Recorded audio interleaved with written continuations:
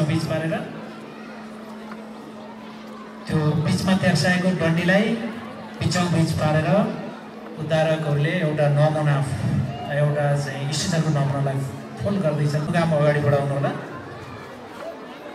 र पूर्ण रूप दिनको लागि अर्को डन्डाको प्रयोग गरी प्रयोग गर्दैछन् पुनः त्यहाँ हाल्दैछन्। पुनः मोडेर उनीहरूले एउटा पूर्ण रूपको स्टेजर तयार गरिसकेको दृश्य हो। र उनी एकजना बिरामी छन्।